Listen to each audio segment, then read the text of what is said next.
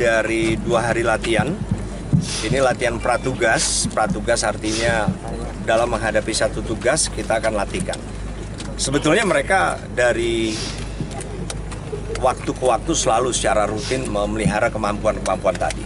Yang tadi disebut oleh Pak Menko, misalnya Bravo itu adalah uh, pasukan khusus dari Angkatan Udara. Ya. Kalau Denjaka tadi Angkatan Laut, sedangkan 181 Angkatan Darat. Nah, tetapi memang menghadapi tugas yang sekarang perlu juga mereka untuk diingatkan lagi. Uh, melihat perkembangan pasukan khusus kita, saya pikir makin baik. Jadi uh, saya optimis apa pun tantangan yang dilakukan, mereka akan bisa mengatasi. Mungkin evaluasi untuk malam hari ini seperti Saya apa? kira teknis itu tidak perlu.